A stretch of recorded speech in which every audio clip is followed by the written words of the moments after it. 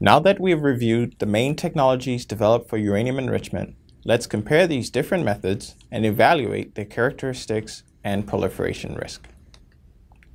We will be using gaseous diffusion as our reference case for these comparisons. The low separation factor and high throughput capacity of gaseous diffusion process results in approximately 1300 to 1400 separation elements required to achieve LEU from a natural uranium feed. This results in a reference facility size which is actually quite large. For example, the gaseous diffusion plant built in Oak Ridge, Tennessee for the Manhattan Project in 1944 was the world's largest building at that time with over 1.6 million square feet of floor space. Capital costs for gaseous diffusion are our reference here, but they are also quite high, as is the specific energy consumption of 2400 kilowatt hours per SWU. The first gaseous diffusion plants were built as part of military programs. This technology was extensively used among the nuclear weapon states to enrich uranium until it was replaced by centrifuge plants. In addition to having a relatively high energy consumption, gaseous diffusion plants generate a lot of heat, requiring the use of coolants like Freon, which also have emissions concerns. The last gaseous diffusion plants, the Paducah Gaseous Diffusion Plant in the US and the Georges Besse Gaseous Diffusion Plant in France, ceased uranium enrichment activities in 2013 and 2012, respectively.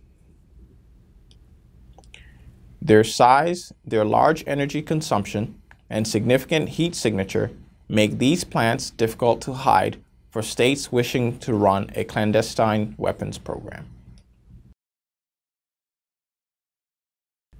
For electromagnetic isotope separation, or EMIS, a very high separation factor results in only a single stage required to achieve LEU from a natural uranium feed.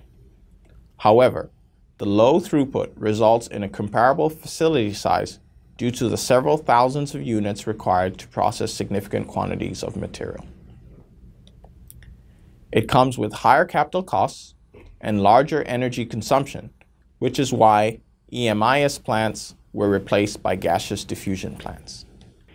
EMIS actually consumes more energy to produce LEU fuel for commercial purposes than the energy recovered from using the fuel. Thus, the presence of a large-scale EMIS facility is a strong indicator of a weapons program. Furthermore, since EMIS has a very high separation factor, this particular technology could be a significant proliferation risk.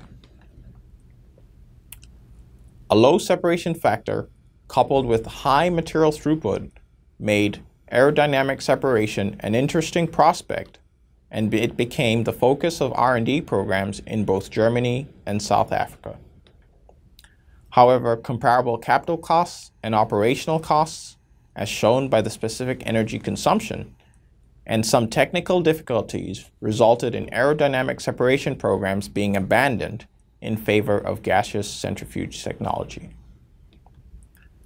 Laser isotope se separation technologies, such as AVLIS and MLIS, have a high separation factor and moderate material throughput, resulting in a significantly smaller facility size when compared to gaseous diffusion plants and even gas centrifuge plants. In addition, low capital costs and low specific energy consumption rates makes laser isotope separation technologies the most difficult facilities to safeguard. Fortunately, the level of R&D and the technological challenges in developing this technology add significant barriers of entry to the separation technology. This makes proliferation via laser isotope separation less likely. For gaseous centrifuge, a high separation factor results in approximately 20 stages required to achieve LEU from a natural uranium feed. A low throughput, however, means that thousands of units are required to produce significant quantities of material. Despite the higher capital costs, the lower specific energy consumption has led to gaseous centrifuge enrichment plants replacing all gaseous diffusion plants. Gas centrifuge is currently the only enrichment technology utilized by commercial uranium enrichment facilities. Uranium enrichment through gas centrifuge represents one of the greatest threats to the non-proliferation regime.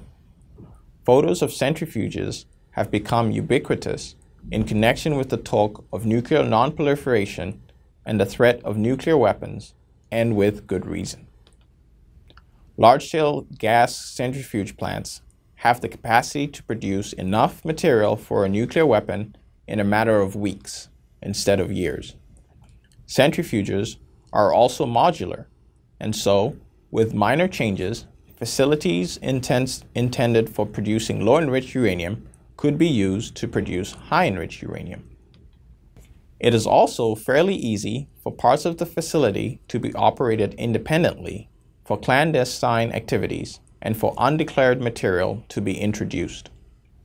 The facility size and electricity consumption for gas centrifuge plants is generally small, and information on gas centrifuge technology is available on the gray market.